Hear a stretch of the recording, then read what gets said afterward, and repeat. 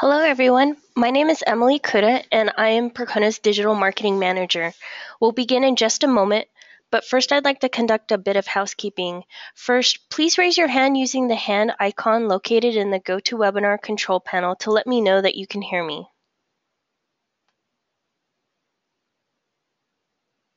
Okay, great. Um, now, during this webinar, you will be on mute. Should you have any questions during the discussion, please enter them in the questions field within the control panel. At the end of the webinar, we will take time to answer as many questions as possible. Those that aren't addressed will be answered in a follow-up blog entry on Percona's Data Performance blog. In addition, a recording of this webinar will be made available to everyone within 48 hours along with the slides. I would like to thank everyone for attending today's webinar, Compression in Open Source Databases, presented by Peter Zaitsev, CEO. With that said, I'll turn the floor over to Peter. Hey, uh, thanks, uh, Emily, for introduction, and uh, hello, uh, everyone, wherever time of day it, uh, it is in your uh, location. So uh, I'm very excited to uh, talk about compression uh, in the database because uh, during the uh, more than 15 years I was uh, involved in the industry, there have been a lot of changed mm, changes around the, around this topic. So what we're going to talk about here is about three things. We'll talk about a bit of a history of compression, approaches with data compression and uh, which uh, of those approaches some of the popular open source database systems uh, implement? So first, let me define the term. What I'm going to mean here by uh, compression, because uh, uh, it, it, may be a little bit non-standard, right? To make it simple for me, I'll refer to compression as anything, any technique which makes the data, data size smaller, right? So if you look at the at the history, uh, well, really, if uh, you look at the uh, history of compression way back, going back to 70s and 80s, early computers were really uh, too slow to be able to implement any meaningful uh, data in a, software. So at that time, we had uh, compression implemented in the hardware. You know, some may remember those, let's say, backup tape, which would have some pretty weak compression implemented in the hardware, but that worked better than a software compression because uh, CPUs were so slow we couldn't really uh, handle it. And then uh, what uh, has been uh, happening gradually is uh, compression first appeared for non-performance critical data, right? So then uh, when it comes to databases or, uh, or file systems. So if uh, that's non-performance critical, we rarely access that, we may uh, able to uh, uh, compress the data. Now, it's worth to note though that we didn't really need compression that much for about 30 years, right? You can see this graph, which is actually using the log scale, and you can see as from the early ages to 2010, uh, we had the cost per gigabyte dropped, uh, uh, what is it, uh, eight orders of magnitude, right, from about million dollar per gigabyte to uh, less than one cent in 2010, uh, right, and even a little bit better today, right? So then uh, your hard drive's capacity is growing so quickly. Uh, why do you need compression, right? Well, now when you come to modern age, a few other things uh, uh have happened. First is the data growth really outpaces uh, hard uh, drives improvements in terms of capacity. And I'm not sure whether we call it Moore's law or something else for hard drives, but uh, we can see what it has been running out of steam. And you can see what for uh, for last uh, few uh, years we're not really getting hard drives which are much larger right? We kind of go through maybe three terabytes uh, hard drive size to uh, 10 terabytes tops right? Which is by far slow improvement level than ever before. At the same time we get the modern CPUs which are mm, quite uh, powerful, right? And they can handle a lot of compression, and they have uh, typically many cores to spare. Now we have Flash, we have Cloud, and we have also changes in terms of what data do we store. Now, and let's look at that in more details. Now, if you look at the data uh, from uh, about EMC's research in digital universe, and you can find very similar graphs with uh, uh maybe different numbers but the uh, same trends, which shows uh, what we, we, have seen the exponential growth of the data we have in what's called digital universe. and it's expected to continue on this exponential uh, scale at least uh, until 2020. And we can see from this graph that actually a relatively small portion of that is, is going to be structured data, right? And uh, I think it's pretty clear, right? What a lot of data we produce, like uh, videos or photos, right? Uh, uh, they are not structured and they take a lot of space. But it is going to be many, many zettabytes of uh, structured data, the data we store in databases as well, right? And what is interesting uh, is what unstructured data, such as videos or pictures, it is compressed, and it has been compressed for a very long time, while database content may not necessarily be so. Our CPUs, they are both uh, high performance and have uh, multiple cores, and let's see how powerful they actually mm, are. These are the data for the single core uh, performance of uh, not the most modern CPU. I think it's uh, i5 uh, something, and uh, and you can see uh, what compression speeds for some of the fastest compression algorithm are closing in on on a gigabyte a second per core, and the decompression speed can be as much as two or three megabytes, which is just a little bit slower than uh, MEMCPY, right? Which simply means uh, no compression at all and uh, or mm, uh, copy in memory. At the same time, what I want you to see from this table is what you also have to choose compression algorithm wisely, because there is a huge, huge difference uh, between them. For example, uh, in in uh, TokuDB, we offer both LZMA compression, compression as well as zlib and the uh, QuickLZ, which is uh, performance-wise very close to LZ4. And you guys can see what uh, there is almost uh, 50 times compression and decompression difference, uh, speed difference between those two algorithms, right? So if you really choose their uh, compression mm, run, you, you may uh, get a very poor performance and get to a conclusion what compression doesn't uh, work uh, for your workload. While what actually happened is you simply chose the wrong uh, compression level. Uh, you can also check out the link above. it has a much higher select, larger selection of different compressions with different levels. I just picked a few.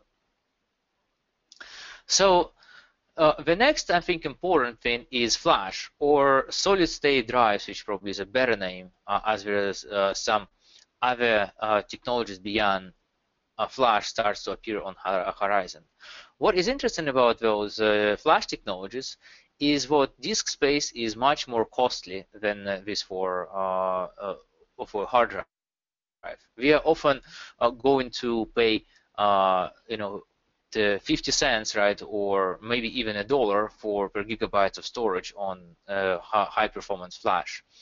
Uh, write endurance is uh, is expensive, so we also want to write uh, less data, uh, cost consideration aside. And what is also interesting about flash is what it is actually quite decent handling fragmentation right? Because from design standpoint, one of the big concerns with uh, compression in file systems or databases is uh, what that produces fragmentation because as you simply uh, rewrite, uh, rewrite the same block, uh, it may not uh, mm, may have a different compression properties. Cloud is also very interesting for compression. In the cloud, we are actually paying for space. So while previously we may be buying uh, mm, the storage right, uh, as a fixed uh, capital expense, uh, like you buy the hard drive, and then, frankly, until you use it, mm, uh, you don't really care how much uh, space you use it that much, right? It's only when it's 100% full you have to uh, to buy buy more. But in the cloud, you're actually paying for the space you use. And if you happen to to be able to compress your database uh, to take half the space, you can reduce your storage-related uh, cloud bills uh, in half. You also store for pay for IOPS, so writing less data and reading less data is uh, is helpful. And what is also interesting is compared to a lot of custom designed uh, systems uh, in your own data center, you typically are going to be more limited in storage performance and and network performance, which also goes towards compression. Now let's look at the data. What kind of data we often deal with in the modern systems when it comes to uh, structured data? We are dealing with a lot of texts, right? Uh, which we uh, mm, produce, both as people, both, uh, as well as machines also often like to communicate in a text in a readable format, so they produce a lot of text. Uh, some mm, structured mm, formats which often store in database such as JSON and XML, both compress pretty well. We have time series data, which also compress extremely well, especially if you use some special purpose uh, algorithms, and log files. All of those data which are stored in modern database compress uh, very, very well. Sometimes you can get uh, a compression of a 10x or even more with those kinds of data.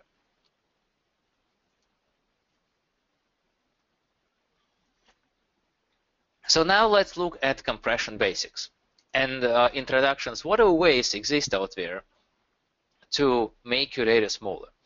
First, there are really two big classes of compression algorithms. One of them are called uh, cost lossy. This is, uh, for example, a JPEG compression, which does not really represent exactly the same as a regional picture, picture but it uh, pretty much looks the same. And the whenever is lossless. This is compression where when you uncompress the data, it's exactly the same as uh, uh, it has been uh, uh, original, right, and before. Now, when it comes to databases, databases generally use lossless compression because one of the properties we want from a database is if you put the data in it and then you read that data back, then you read back the data which is exactly the same, right, which doesn't leave a lot of room for lossy compression. At the same time, lossy compression can often be done on the application level when we use mm, uh, use databases, right? If that's uh, uh, something appropriate. So, what kind of uh, ways do we can get to make data smaller, right? Or what we call the compression here. With a few things such as layout optimization, encoding dictionary compression, and uh, the block compression. When you speak about layout optimizations, we are simply thinking about how exactly can we store data which is more efficient on itself or maybe help us to compress the data more effectively. For example, in a databases, uh, we have a column store and row stores. And a column store which uh, store uh, values of the same column among uh, many rows uh, close to each other, they generally compress uh, much, much better, better than row store. There are also some hybrid formats uh, mm, uh, exist or uh, some storage engines may use variable block sizes which help to improve the compression mm, compression size.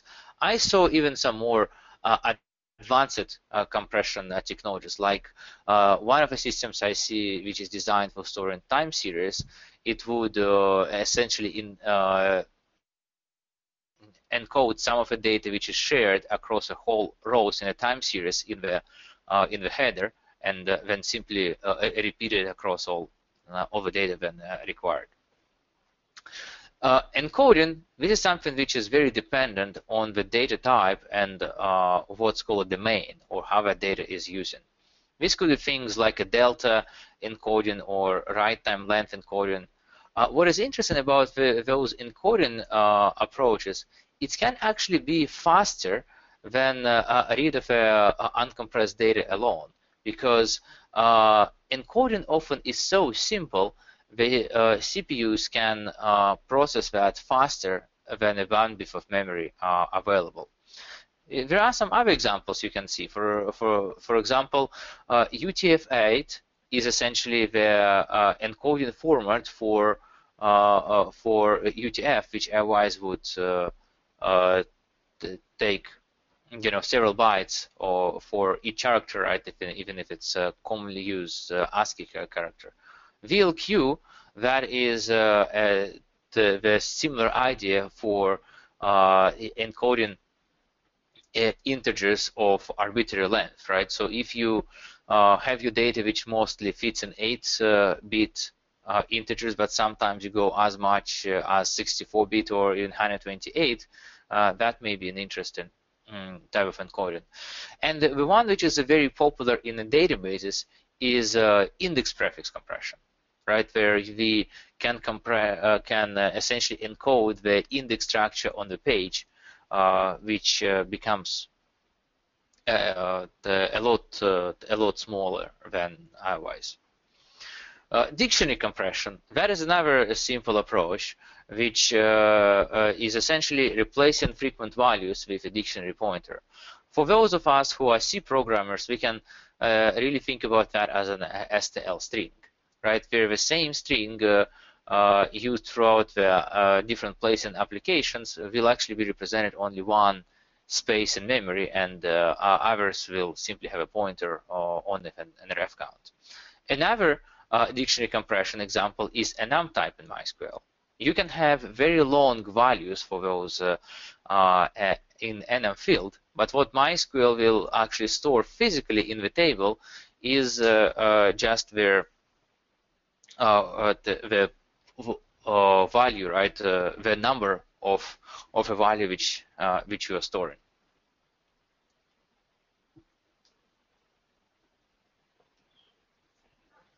Finally, let us talk about the block compression, which is probably uh, the most conventional uh, type of compression which is available in a lot of databases. Um, the idea here is uh, pretty simple. We take the blo block of data, such as database page, and we uh, mm, uh, compress it by some finding the patterns in the data and effectively encoding them. And for those, typically, we use some sort of traditional algorithms, Snappy, zlib, LZ4, LZMA, right, and others. Now, what is worth to mention is what those ideas, uh, uh, it doesn't have to be one or another. It is perfectly fine for a system to use uh, multiple database compression methods to uh, achieve the best efficiency. Now, what we should know about uh, block compression details. First is uh, there is no really one compression rate. It's going to highly depend uh, on the data. In some cases, you can get a data which is barely compressible at all, and uh, in others, you may have a data which compre uh, compresses very much. Another thing, uh, you should know what the compression rates depend on the block size. Right, the more, uh, the larger is the block size which uh, is being compressed, right, and each block size typically compresses individually in the databases. The better, mm, the lower compression rate you're going to get. And you should also note what for many uh, compression algorithms, the speed, such as I shared with you in a table uh, before, is not something which is which is fixed. It also may depend uh, on the block size and the data. This is uh, is example which I uh, took for presentation by by uh, Lee Falsh, right, where he mentioned he looked at the Mm, compression performance of different uh, different block sizes. And you see as the idea from uh, uh, from this is what on the la larger blocks the data compresses better, better even though gradually the, the block improvement size starts to mm, matter less, right? And for this kind of data and for uh, this compression algorithm, we can see what a block size of 128k, uh, which uh, is uh, where we are starting to get starting to get close to the optimal compression. Now, what is interesting in this case is that there are no compression algorithm or block size uh, which uh, fits at all. Right? Depending on the data, we have a, may have a different needs for compression, decompression performance, and also there are typically trade-offs for choosing the large block size, right? Because uh, what uh, uh, happens with block compression is we typically have to, uh, to, to, read the data, we, we have to uncompress uh, the block completely. So if you have a block size which is, for example, one megabyte in size, and we just have to read uh, 10 uh, bytes somewhere in the middle, we'll have to uncompress a whole one megabyte of data, which is going to be uh, quite expensive compared to reading those 10 uh, bytes of data straight from uh, from uncompressed memory. Okay, so now let's talk about the other question, is where exactly the compression uh, happens and how it happens. There are a few locations where you can compress the data. Uh, uh in uh, in database uh, memory, right, as a part of a database store, so when database stores the data, compresses the data before it writes it to a file, as a part of a file system, storage hardware, or maybe an application even. Now, compression in memory helps us because we can reduce amount of memory needed for the same working set. Right? Uh, this is on the uh, on the positive side, uh, uh and we also can reduce amount of I/O which is needed uh, for the same amount of memory. But the problem here is what uh, there is a lot of overhead, right? Because typically accessing memory is very fast and having to decompress some blocks uh, uh, can be cause very severe performance uh, impact. This is why in majority of cases when we speak about the um, compression in memory, we either have something like uh, encoding and decoding uh, or dictionary compression uses which are pretty light and doesn't cost a lot of CPU overhead, or we may have like two different levels of caching in a database where the hottest accessed pages are, are uncompressed and only uh, not so hot pages are kept in memory compressed. What about compressing data in a database data store? Well, that helps us to reduce the database size uh, uh, on disk, and it is good because it works with all uh, uh file system and storage formats. It's also good because it can play together with a database size encryption there if you would uh, uh, try to use file system compression or storage device compression, it wouldn't work with encrypted database because even uncompressible data, even if well compressible data becomes uncompressible when it's encrypted.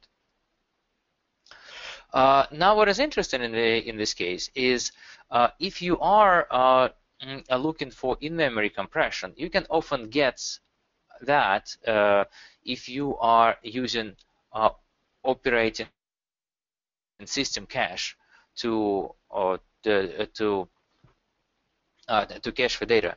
For example, for some workloads with TokuDB storage engine, we select TokuDB cache uh, being relatively small and allocate much more memory for uh, operating system cache, allowing us to cache the compressed uh, TokuDB uh, data, which is stored in files, and as such as low much larger portion of a database being uh, cached. Well, the, the thing to note about the database data store level compression is what it has to deal with uh, uh, with fragmentation as a pretty uh, pretty common issue. Compression on file system level has different benefits. It works with all database and storage engines, right? Uh, you can take any database which has nothing to doesn't know anything about compression and run it on file system which uh, uh, has compression such as ZFS or uh, Btrfs or file system which is built in some SAN or NAS storage solution. Well, the problem in this case is twofold. First is performance impact can be significant because file systems don't have as much information about database access uh, pattern. We can't really employ the all optimizations database could. And also logical space on disk is not uh, uh, reduced in this case. And why is that the problem is, well, for example, if I want to copy uh, database, let's say from one file compressed file system to another over network, well, uh, the chances are I'll have to uncompress it, copy in uncompressed way, or recompress it again for copying through network, right? Which wouldn't be as uh, as efficient. Compression on storage hardware is uh, pretty much hardware dependent, uh, and uh, it doesn't really reduce the space on on disk in the in in many cases. When it can be actually helpful? Well, for number of solid-state system drives, they internally have compression before they store the data, uh, which allows them to have uh, uh, to reduce wear as well as have more space available when they do garbage collection. Uh, in the same case, that can uh, both give us performance gains, as well as sometimes with very intensive writes that uh, compression on SSD can become a choke point. Right, so uh, if you are using SSD which has some internal compression, you want to be watching that carefully. Compression of application. Well, uh, we have done uh, in many cases something like taking a large XML document and compressing that before stacking that in a MySQL uh, blob, right? And the nice thing about this, there is no database support needed, and uh, we not only reduce the database load, which doesn't need to do compression anymore, but also uh, network traffic, right? Uh, and uh, what is also nice is what the application knows more about data, so it knows what data to compress and how to compress it. This is all nice, but at the same time it comes at the additional cost of application complexity. And that also means that we have to give up many database features we love them for. For example, if I have compressed uh, uh, XML before stacking that in database, well, uh, I can no more use uh, the, any kind of index, right, or database functions to work with, a, uh, with the data. Now let's uh, talk about some other mm, design considerations. What databases do to implement compression well? The goal, really, mm, for compression is to minimize the negative mm, impact for user operations, reads and writes, right? I think that's uh, uh, as much uh, clear. Uh, the design principles goes typically as following. Uh, we are using the algorithms which have a fast decompression, which is pretty important because when they go, when user requests a data which happens to be compressed right now, it must be decompressed in real time. We cannot give a user response until that uh, uh, compression has, uh, decompression has completed. Uh, compression needs to happen in the background, uh, at, le at least the more you know, complicated one right? And typically that's possible with, uh, because as we take the data in, we don't really need that to be uh, compressed uh, instantly. That database can do on its later. A database should implement a parallel for uh, compression, decompression, because we have so many CPUs core right now. And also, we are typically leading for something called uh, re, uh, reducing the recompression and update. We don't want to constantly uh, uh, recompress large blocks of data even when we are doing some minor change. That would be mm, pretty expensive. Now for block size, uh, we also have to choose uh, the, what we want. Large blocks give us uh, their most efficient compression, and they are very efficient for bulky writes as well as uh, large sequential scans. But at the same time, if you're looking for mostly point lookups operations, then we often have to uh, use smaller blocks. Now let's talk about a few uh, database implementation examples. First, uh, MySQL packed by some. In the MySQL space, that is probably the earliest example of uh, some sort of compression uh, used. Uh, the idea is what you will compress table offline with uh, special utility MySQL pack. Table becomes uh, read-only, but uh, uh, it would employ vari a variety of uh, compression uh, me methods, mostly a simple one, um, the, to get that uh, table compressed. In this method, only the data is compressed and uh, uh, and not not the indexes. While for indexes, you can enable prefix compression in in MyISAM if you like.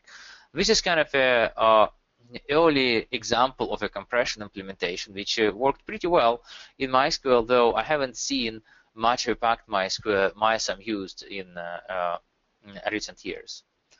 Uh, the next uh, uh, compression implementation attempt in MySQL was through Archive Storage Engine, right? And Archive Storage Engine essentially was designed for logging, right? You can write data to that, it becomes instantly compressed using zlib compression, and Archive Storage Engine does not support indexes. So it was only good for uh, full table scan. So that really limited um, its uh, its usefulness, right? Because if you only can have a full table scan, well, that is not really a very databasey thing to do. Next uh, comes InnoDB table compression. And InnoDB table compression was available now for a while, since MySQL 5.1. We have pages which are uh, compressed uh, page by page using uh, uh zlib. Uh, additionally, uh, out of of page externally stored blobs can be compressed as a single entry, right? Even if it takes takes many pages. Uh, the change uh, challenge with InnoDB compression, which I think is quite uh, unusual, is what you sort of have to choose how you will think your data will compress by choosing compression page size. And if you uh, guess wrong, then you have a very bad performance with uh, with compression, right? So that is something which have to be kept in mind. Uh, some other design considerations for InnoDB is what InnoDB uh, actually uh, keeps both compressed and uncompressed page, uh, pages in the buffer pool. And in certain cases, it may uh, throw away the mm, the uncompressed pages, the compressed pages if their sort of CPU pressure become too large. Also, InnoDB compression maintains some sort of little log on uh, on the page of the changes to avoid what I mentioned as uh, constant compression, uh, constant recompression of pages, even when you updated just one or two rows.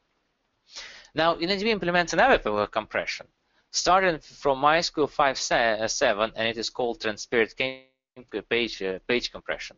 This is much more uh, simple from InnoDB side approach to compression. Instead of implementing this kind of complicated fitting of the pages and picking how they will compress, we essentially trying to compress the page uh, as much as we do. Some pages com uh, compress well, some don't. And as the pages are written uh, on the disk, uh, the, uh, we see how much space on the page became unused uh, after the content was compressed. And we are using the hole punching to tell a file system what that space is not really used.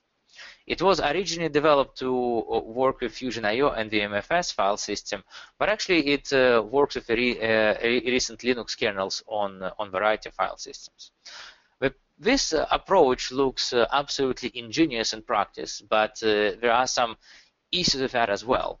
As Mark Callaghan reported, in many cases, modern file systems don't really like to have one hole per every 16 kilobytes of storage and uh, their performance with such uh, uh, such files with so many holes often can be significantly reduced, right? So if you're planning to roll out this compression, test it carefully.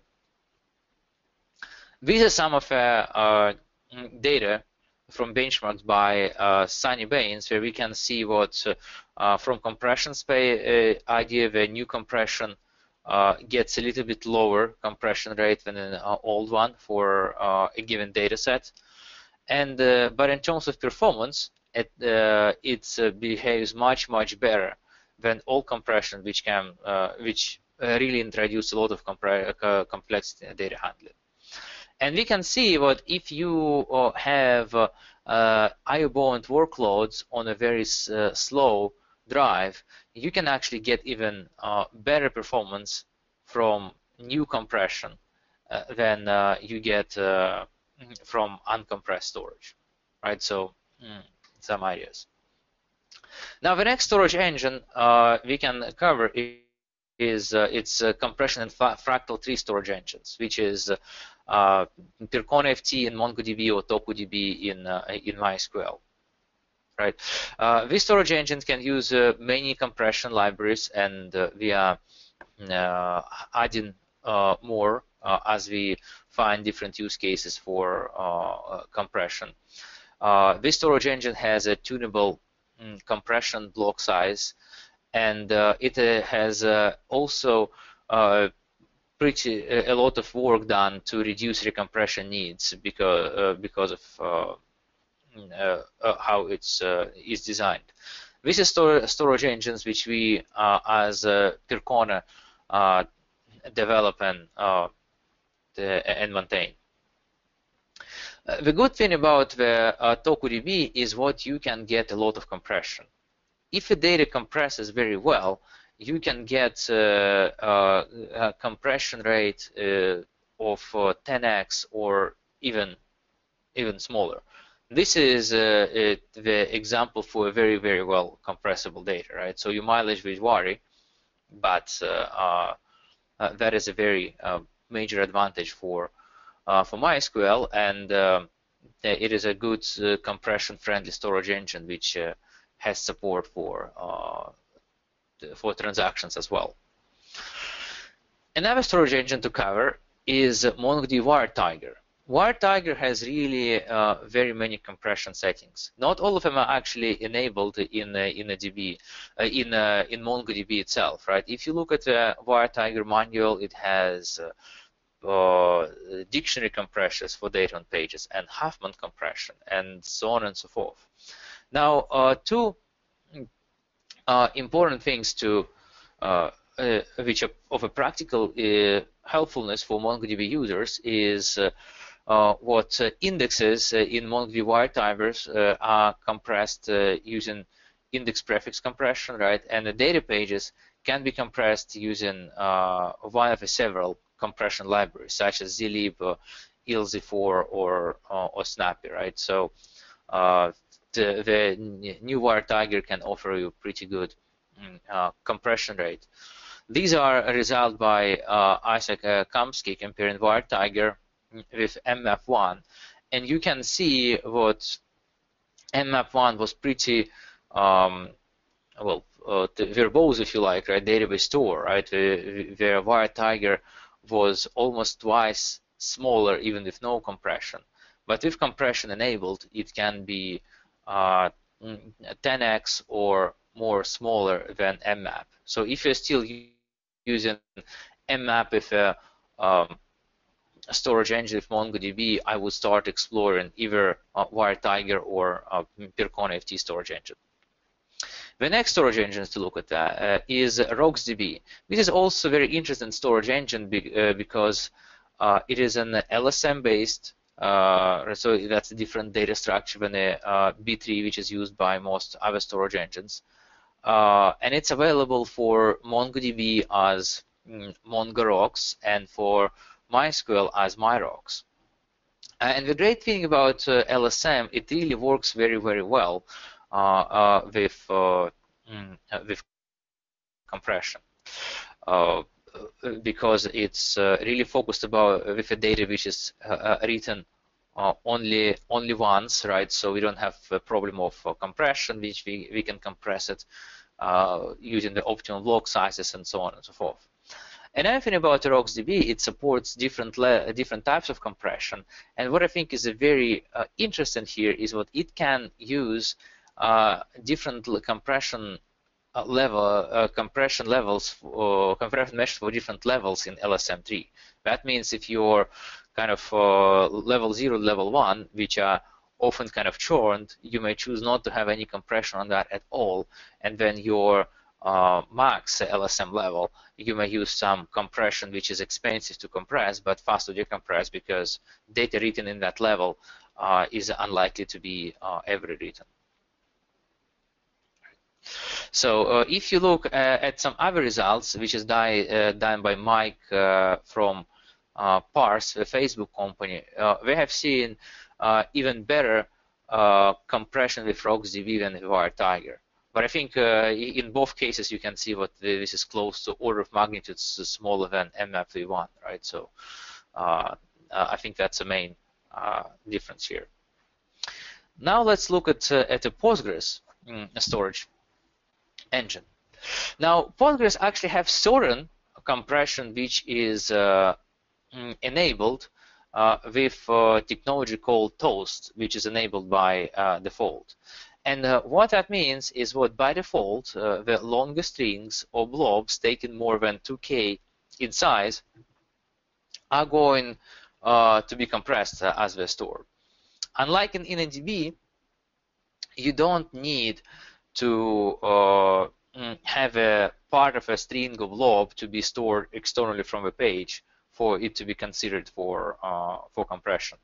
Now, if you are looking for the uh, uh other uh, for compression for other data in Postgres, you right now are uh, recommended to use a file system compression, like ZFS, for example. it doesn't have any built-in uh, compression and standard distribution uh, as of yet. So if you look at the summary, uh, the compression is pretty more important in a modern age, and uh, I suggest you consider that for, for your system. There may be some uh, important performance gains or cost savings to be delivered by using compression. if you need any help with the, those decisions, talk to us at Percona. We're happy to uh, help you. And you can see what there are many different technologies uh, are used by the databases to uh, to make the data smaller. The last point here is what support is uh, compression support is really rapidly changing. I think it's uh, uh, really picked up during the last five years due to the changes in the industry I mentioned. And the compression support you're looking now may be very different from what are going to exist uh, three years from now. So uh, make sure you keep uh, watching and revising this topic.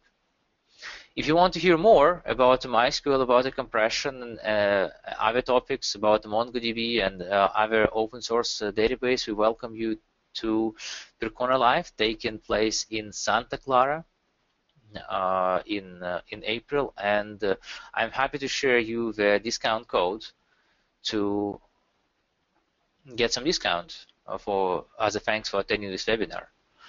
Uh, at this point, I would be happy to take some questions.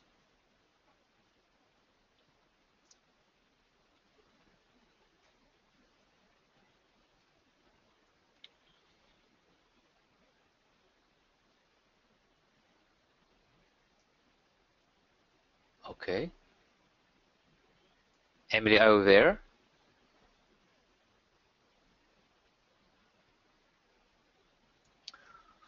Okay, well that's uh, uh, uh, that's unusual. Let me see if I.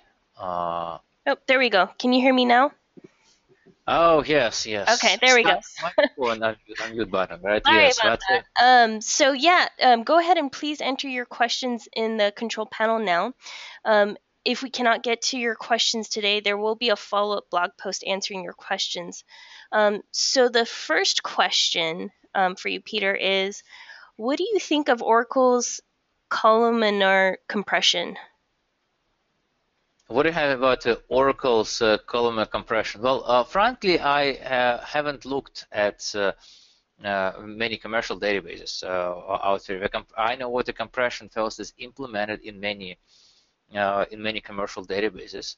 Um, if you generally look at the column-based store, right, it's typically is uh, able to employ much better compression rate uh, compared to the row store such as InnoDB, TokuDB, right, and, uh, and some others, uh, but at the cost of, of updates, right? So the column level storage engines are typically designed for uh, analytical workloads, not for your transactional databases. Okay. Um, next one, does compression affect the row size error? Does compression uh, affect uh, row size error? Uh, well, uh, it's not very clear what uh, a person is asking about, but I guess if you're talking about the uh, InnoDB, then the answer is uh, is no. Uh, if compression happens on the database level, then row size is validated before uh, the, and compression happens on the low level. At the same time, if you're doing some compression on the application level, then by compressing some data, you can avoid the uh, row size error issues. How about post-gestral compression? How? Uh, I don't understand this question. I mean, can you? Uh, sure. I'm going to spell it out. Um, P O S T G R E S Q L. Post guest SQL. Oh, for post uh, post GIS. Oh, yeah, that's uh, mm, uh th that's uh, tricky. Well, uh, I, I, what I have, uh, if you're looking at post GIS, that I guess that's a Postgres related. So that as I have looked uh, uh, at the, into I uh, mainly looked into the general compression for Postgres, for Postgres, right, which uh, seems to be based on, on the strings mostly. I uh, I don't know about the PostGIS compression, but you uh, a, you feel free to drop me a note and we can talk about that in more detail. So. Okay. Um, what is the compression DB um, used in MySQL? Compression well, database used in, in MySQL. Yes, that's a, I'm uh, I'm trying to understand what that, uh, that question uh, what that com, com question means, right? If you uh, in MySQL compression is uh, is going to be defined by the storage engine levels. The, typically, all the storage uh, engines, uh, my uh, like MySQL or TokuDB or uh, Archival would support zlib. Some of them support some other compression uh, as well, ranging from uh, fast such as LZ4 to to something like LZMA, which is kind of very powerful but slow compression. Okay. Um, how does index prefix compression work? Okay. Okay. Yeah, that is that is a very good uh, question. So, uh, think about how indexes, uh, uh what the index is, right? Uh, it uh, really provides us the mapping between the the key in the index and a value which is essentially a row pointer in most cases. And the thing about the keys, what they are sorted, right? So for example, if you have an index on a name, there would be uh, names such as uh, Anna, then followed by Annabelle, and so on and so forth, right? Uh, maybe some others pointing to other direction. What prefix compression does, it notices what the Anne and Annabelle shares the, share the same prefix. So instead of storing the Annabelle completely, we will store the number, saying, hey, uh, number three because there are three characters, right, uh, uh, which are the same as the previous value, and then the stir the, the other data right? In a lot of cases, uh, that can uh, provide us a very uh, substantial compression if the indexes share, in, index keys share a lot of prefixes. Now, the downside of that is um, how we can look for data inside the page, right? Because, uh, because if you think uh, the, uh, when you're doing a row lookup in uh, in many databases, what happens is first you use a B-tree to find the proper page on the disk, and then you're going to look on the page and find the proper value on that uh, on that page. And this is not done by page scanning because that would be expensive it is done instead uh, using something as a P, B-tree search, right? And the problem here is what you cannot really do a B-tree search on the compressed uh, prefix data because you have to uh, know to what you correspond, right? So you have to implement some special techniques for um, to handle that optimally, right? Or you may need actually to, to give up your uh, B-tree search in a page and actually scan it from a uh, from a start of a page to find what the uh, what the data is. Uh, this uh, actually the complexity which uh, prefix compression comes for for searching the large pages for a reverse scan on the indexes is the reason why InnoDB doesn't implement the prefix compression as of yet.